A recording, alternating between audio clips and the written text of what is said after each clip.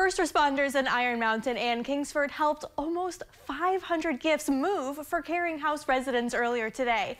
The Caring House of Iron Mountain was accepting gift donations for its Christmas celebration. The Lawn Riders Motorcycle Club, First National Bank and Trust, Iron Mountain and Kingsford Credit Union, and Niagara Credit Union all donated gifts. The Breitung Township Schools resource officer says the first responders helped as a thanks for the Caring House's support in domestic violence matters.